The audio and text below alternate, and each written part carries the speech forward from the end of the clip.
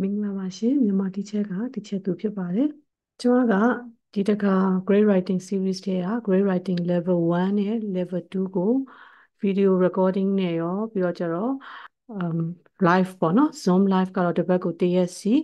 တစ်ချိန်မှာတစ်နာရီ15မိနစ်စီပေါ့နော်အဲ့ဒါကိုပညာဒါနအနေနဲ့ပေးမယ်လို့ပြောထားပါတယ်စာမေးရက်ကတော့29ရက်နေ့ဇူလိုင်ကနေစမယ်ပေါ့အဲ့ဒါကတော့ level 1 30ရက်ဇူလိုင်ကတော့ level 2ပေါ့နော် so level 1တွေကတနင်္လာနေ့တိုင်းကျမတို့၄နာရီ15နေပြီးတော့ညနေ9နာရီခွဲပေါ့နော်မြန်မာစံတော်ချိန်ပေါ့နော်နောက်တစ်ခုက level 2ကတော့အင်္ဂါနေ့တိုင်း၄နာရီ15နေပြီးတော့ညနေ9နာရီခွဲအထိ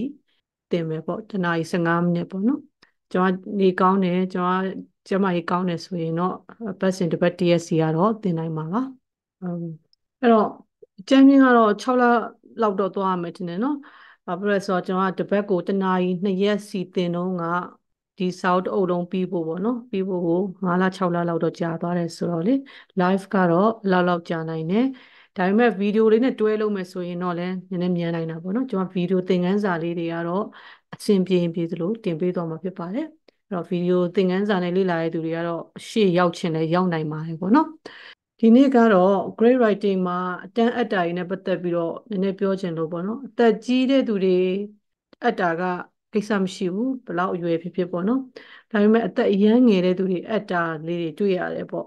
အဲ့တော့အဲ့ဒါနဲ့ပတ်သက်ပြီးတော့ဒီနေ့အဓိကပြောချင်တာဖြစ်ပါတယ်ဒီ grade writing series ကသူတို့ရဲ့သင်ရိုးရေးဖွဲ့ထားပုံကဒီအရန်ငယ်တဲ့ကလေးတွေအတွက်ရေးဖွဲ့ထားတာမဟုတ်ပါဘူးအဲ့ တော့သူတို့ရေးစရာကဒီဟာကဘသူတွေအတွက်တုံးဆိုရင် high school level လောက်ပေါ့ဒါမှမဟုတ်ရင်အငယ်ဆုံးတက်ကိုပြောမယ်ဆိုရင်တော့သူတို့သတ်မှတ်ထားတာပေါ့နော်14 15လောက်ကနေပြီးတော့လူကြီးပိုင်း adult learners တွေကတော့ရတယ်ပေါ့အဲ့တော့လူကြီးပိုင်းတွေကတော့ကိုယ်အရွယ်အတိုင်းသွားလို့ရတယ်အငယ်လေးတွေလေ့လာလို့မရဘူးလားဆိုတော့လေ့လာလို့တော့ရတယ်အဲ့အကြောင်းအရာလေးတွေကိုဒီနေ့ပြောပြခြင်းလို့ပေါ့နော်အဲ့တော့ကျွန်တော် screen sharing လုပ်ပေးပါမယ် grade writing series ကိုပညာဌာနသင်ပေးမယ်ဗီဒီယိုနဲ့လည်းသင်ပေးမယ် live ကလည်းလုပ်ပေးမယ်ပေါ့နော် live section မှာဗီဒီယိုနဲ့ကြည့်ထားပြီးသားသူတွေကသိကျင်တာလေးတွေရှိတဲ့အခါမှာကျွန်မ Telegram Telegram group ကိုဖွဲ့ပေးထားတယ်အဲ့မှာ Q&A section ရှိရဲအဲ့ဒီမှာလည်းမေးလို့ရတယ်အဲ့လိုပဲ live section မှာလည်းပြန်ပြီးတော့လာနားထောင်နေဆိုရင်နားထောင်လို့ရပါတယ်အဲ့တော့သင်မဲ့ grade writing series က6 level series ရှိပါတယ်စာအုပ်အပြင်6အုပ်ရှိတယ်ပေါ့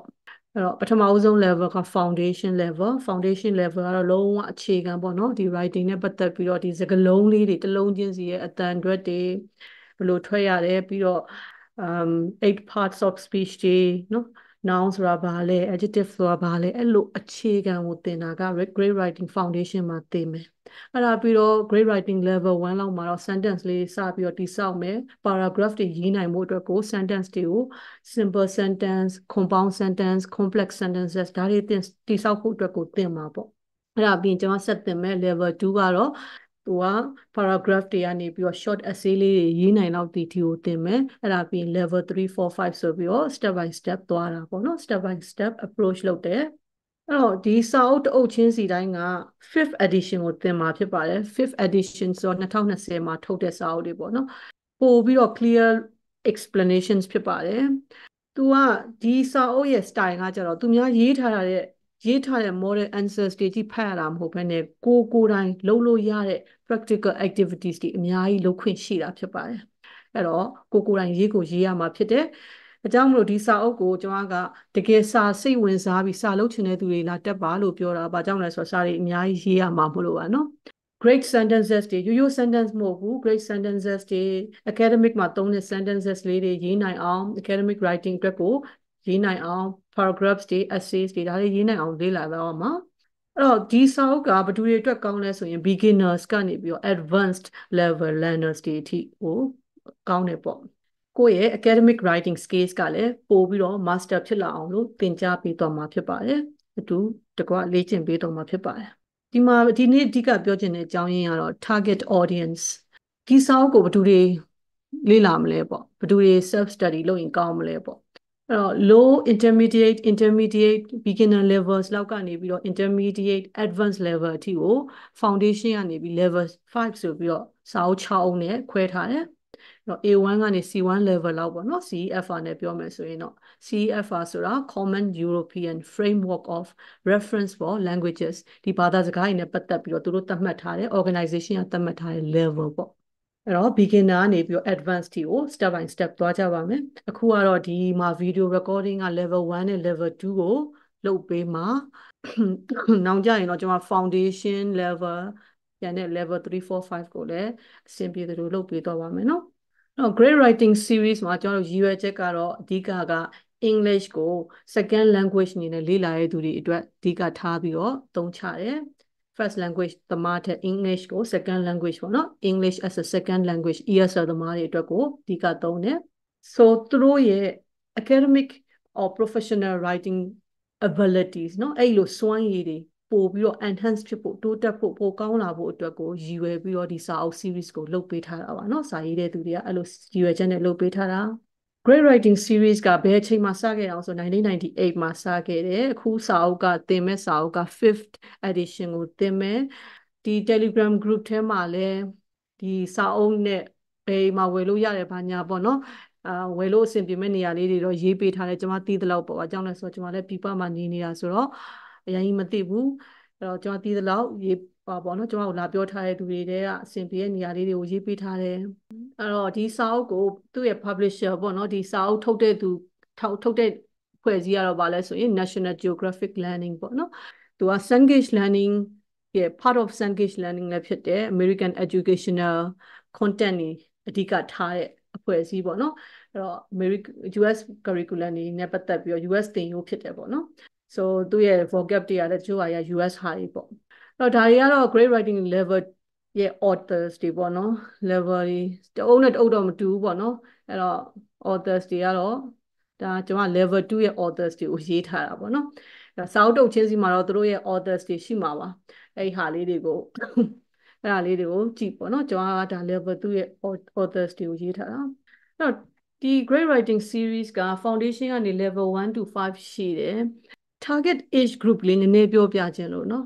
အဓိက target ထားတာကတော့ older teenagers တွေထားတယ် teenagers လို့ပြောတယ်ဆိုရင်ကျွန်တော်တို့73နှစ်လောက်ကစပြောတာ ਉਹ နော်အဲ့တော့အဲ့တော့ older teenagers တွေ high school students တွေသူတို့အတွက်ကိုအဓိက prepare လုပ်ဖို့အတွက် content တွေရေးထားတာဒါကြောင့်မလို့အရွယ်အရန်ငယ်ဒီ content တွေကနည်းနည်းပြင်းစရာကောင်းနိုင်တယ်ဘာကြောင့်လဲဆိုကလေးတွေအတွက်ရည်ရွယ်ပြီးရေးထားတာမဟုတ်လို့ပါ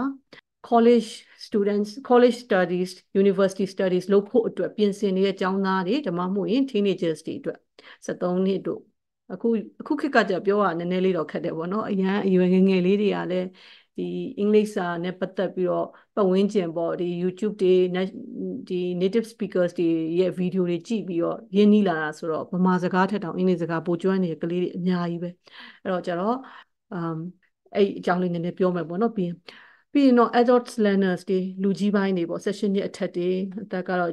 ဒီကျင်တော့ကြီးပေါ့နော်90ပဲဖြစ်ဖြစ်60ပဲဖြစ်ဖြစ်အဲ့တော့လူကြီး learners တွေသူတို့ကလည်း level လိုက်သွားလို့ရတယ်နော်ကိုယ့်ရဲ့ level လိုက်သွားလို့ရတယ်အင်္ဂလိပ်စာကို second language အနေနဲ့လေ့လာနေတဲ့လူကြီးတွေလည်းလေ့လာလို့ရတယ်နော်အဲ့ဒီအကြောင်းတွေကိုကျွန်တော်ရေးထားတာပါ um တော့ factors to consider ဒါကျွန်တော် number 3နေရာ age group မှာထည့်လိုက်တယ်အရန်ငယ်တဲ့သူတွေစဉ်းစားဖို့ကျွန်တော်ဒီမှာပြောထားတယ်ပေါ့နော် အဲ့တော့ဒီစာအုပ်ကပြောရရင်တော့အသက်နဲ့ကန့်သက်ထားတာထက် proficiency level နဲ့ပဲကန့်သက်ထားတာကိုဘလောက်ဒီအင်္ဂလိပ်စာပေါ်မှာပိုင်နိုင်တယ်လဲနော် good at ဖြစ်လဲပေါ့နော်ဒီအင်္ဂလိပ်စာပေါ်မှာ proficiency level ဘလောက်ရှိလဲပေါ်မှာမူတည်တာဖြစ်တဲ့အတွက်ကြောင့်မလို့အဲဒါအသက်အရွယ်ထက်ကိုပို့ပြီးတော့ proficiency level နဲ့သတ်မှတ်ထားတယ်အကယ်၍များကိုကငငယ်ပဲ young learners တွေပေါ့ဒီ 73နှစ်အောက်တွေပေါ့နော်အရန်ငယ်တယ်ဒါပေမဲ့ကိုယ့်ရဲ့ proficiency level အင်္ဂလိပ်စာပေါ်မှာနားလည်နိုင်စွမ်းပေါ့နော်အာ language အားကောင်းတယ်ဆိုရင်တော့ဒီစာအုပ်ကိုအသုံးချလို့ရပါတယ်အဲ့တော့ဒီ it can be adapted for younger advanced learners လို့ပြောထားတယ်လူငယ်တော့ငယ်တယ်ဒါပေမဲ့အင်္ဂလိပ်စာဘာသာရပ်ပေါ်မှာအားကောင်းတယ်ဘာသာစကားပေါ်မှာစိတ်ဝင်စားတယ်ဆိုရင်တော့ပြီးတော့ necessary language skills เนาะစာရေးနိုင်ဖတ်နိုင်ကောင်းကောင်းကိုဒီစကားလုံးတွေကိုနားလည်နေပြီ and maturity ဒီရင့်ကျက်မှုပေါ့ဒီစာနဲ့ပတ်သက်ပြီးတော့တချို့ကလေးဟာတွေပဲထိတွေ့မှုရှိနေရဆိုရင်တော့ဒီထက်စာကြီးတွေဟာ content ကြီးတွေဘာကြီးတွေတုံးလို့ဖြစ်လာနိုင်တယ်လေအဲ့လိုမဟုတ်ဘူးစာတွေအများကြီးဖတ်ထားတဲ့ကလေးနေတာငယ်တာလုံးဝစာမများဖတ်ထားပြီးတော့ language အားကောင်းတဲ့ကလေး maturity level မြင့်နေတယ်ဆိုရင်တော့ဒီ content တွေနဲ့ engage လုပ်ရတာပိုလွယ်ပါလိမ့်မယ်နော်ဒါမှမဟုတ်ရင်တော့ဒီစာတွေကဒီ အရွယ်ငယ်တဲ့သူတွေအတွက်မတင်တော့ဘူးပေါ့ဘာလို့လဲဆိုတော့ content ကလူကြီးပိုင်းတွေဒီ older teenagers တွေအတွက်ရေးထားလို့ပါပြင်းနိုင်လို့ပါเนาะဒီကလေးငယ်လေးတွေဆိုရင်ဒီစာအုပ်ကပြင်းသွားနိုင်လို့ပါသူတို့နဲ့သက်ဆိုင်တဲ့သူတို့အရွယ်နဲ့ကိုက်တဲ့ writing စာအုပ်တွေ writing series စာအုပ်တွေအများကြီးရှိပါတယ်နောက်တစ်ခါကျရင်အဲ့ဒီအတွက် post လေးတစ်ခုရေးတာပဲဖြစ်ဗီဒီယိုလုပ်ပေးတာပဲဖြစ်လုပ်ပေးပါမယ်เนาะအဲ့တော့အခုလို့ဆိုရင်အကြမ်းမြင့်သဘောပေါက်တော့ပါပြီအရန်ငယ်ရဲ့သူတွေ ဒါပေမဲ့ language အားကောင်းတယ် maturity level မြင့်တယ် proficiency level မြင့်တယ်ဆိုရင်တော့အတန်းဒီစာအုပ်တွေကိုလေ့လာလို့ရပါတယ်ဒီလိုမှမဟုတ်ရင်တော့ older teenagers တွေ adult learners တွေကတော့သူတို့အတွက်လုပ်ထားတဲ့စာအုပ်မလို့သူတို့ ਨੇ အကိုင်ကြီးဆုံးဖြစ်ပါလိမ့်မယ်ကလေးငယ်လေးတွေကတော့မိဘတွေကပြန်သင်ခြင်းလို့မိဘတွေလာလေ့လာခြင်းနဲ့ဆိုရင်လည်းရပါတယ်เนาะကျွန်မကပညာဒဏ္ဍပေးတာဆိုတော့ကျောင်းသားများများပညာဒဏ္ဍပေးရရင်ကျွန်မအတွက်လည်းပို့ပြီးတော့အကူအညီလည်းရတယ်ပေါ့နော်အဲ့တော့